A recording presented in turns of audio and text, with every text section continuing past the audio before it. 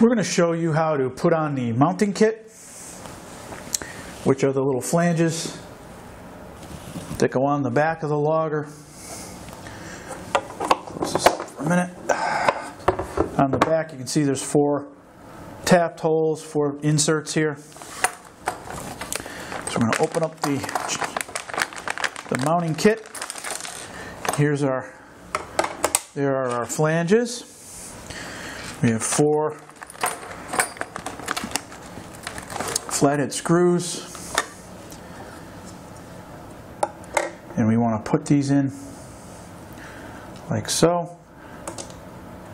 Just want to start the first one. Gives us enough flexibility to get the second one started. And we'll get that on there.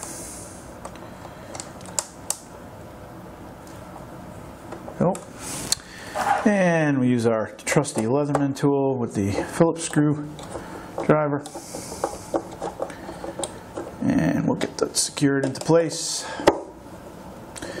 And when we have both of those on,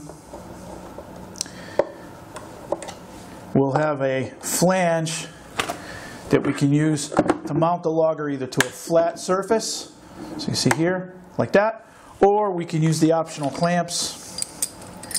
These go around the tripod, and we put them on through there. Put the nuts on the other side, that goes around and holds it to that tripod.